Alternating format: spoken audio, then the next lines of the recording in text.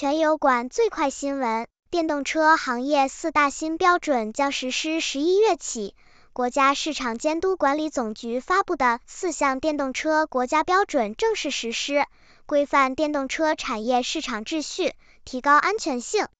全方位立体化观测自然保护地生态环境部发布新规《自然保护的生态环境调查与观测技术规范》。十一月起实施，采用多种观测技术手段，对自然保护的进行全方位立体化观测。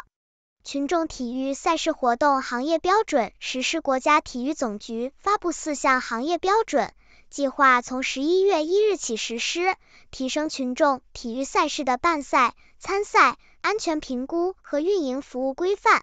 取消外国公文书认证，中国将于二零二三年三月加入取消外国公文书认证要求的公约，十一月起生效，简化公文书跨国流转程序，提高贸易便利。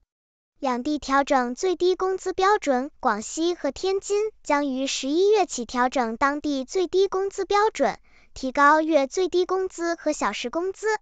深圳公积金租房提取刷新，深圳市公积金管理委员会发布通知，规定从十一月起，符合条件的无房职工可按月应缴存额的百分之一百提取公积金。贵州调整职工基本医保缴费年限，贵州省发布通知，规定从十一月起，享受退休医保待遇的职工需满足一定医保缴费年限条件。